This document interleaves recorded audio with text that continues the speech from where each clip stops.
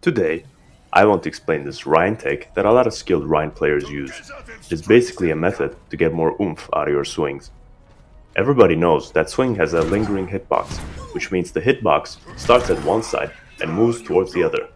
This can be abused to make wide swings that hit at a larger radius around you. A little less known technique is that you can use the edges of the hitbox to get more distance to your swings. Ordinarily, the swing range is 5 meters in front of you. However, the edges of the hitbox can extend up to 6 or 7 meters. People often suggest to shake your camera to use this range because it is harder to explain properly. However, the shake method can disorient you and it is less consistent overall. That's why you simply have to remember to move your camera to the opposite direction of your swings. That means if the swing is coming from right to left, you move the camera from left to right. A thing to note is that the first swing is always from right to left.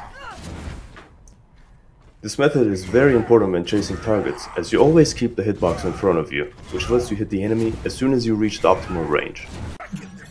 In this clip, I used the very end of my swing animation to reach a target that would have been able to escape otherwise.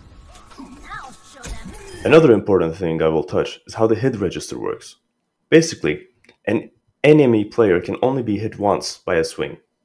This means if the enemy is in an invulnerability state where they can't be hit as you're swinging, can simply use the end of your swing animation to hit them as they leave on vulnerability, as they have not yet been hit by your swing. Some examples to the invulnerability states are the Reaper Wraith form, the Mei Ice Block, the Kiriko Suzu, the Moira Wraith form, and the ending of an Echo ult.